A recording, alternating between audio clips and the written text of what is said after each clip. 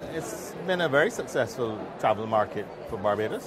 I think I'm heartened by the level of activity we're seeing on the stand. And when I say that, I mean the actual trading that is taking place. I mean, you sometimes, with all of the distractions, you forget that it is first and foremost a marketplace.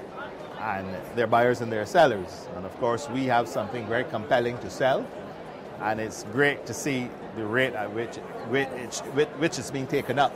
So the private sector partners are all reporting uh, good business. And of course, from my own meetings with major operators and providers of airlift, etc., we are seeing increases out of the United Kingdom. And the prospects are still very good going forward. And this is important, particularly given the level of uncertainty that we have in the United Kingdom right now. I mean, apart from the pound being, uh, you know, trading a bit low, we, there's a level of uncertainty over the economic and political picture here. We've heard from the governor of the Bank of England that inflation is going to increase uh, in 2017 and again in 2018. Levels of disposable income uh, will, will, will go down for British citizens, but, but in the face of that, we are still seeing increases, and we have commitments. For example, Thomas Cook putting on flights from London Gatwick, uh, Virgin increasing its seats out of London Gatwick and Manchester, and of course, British Airways putting on an extra flight this winter season. So we'll have 13 777s from BA a week.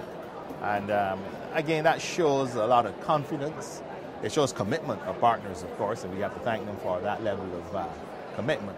But the confidence in Barbados to deliver the goods, and I therefore have to describe this entire exercise as a successful one. There's been a definite surge in uh, patriotism and nationalism and so on in Barbados because of the 50th, and we have to leverage that going forward. Of course, immediately in 2017, we have the Caribbean's largest cultural festival, CariFesta, that will be held in Barbados.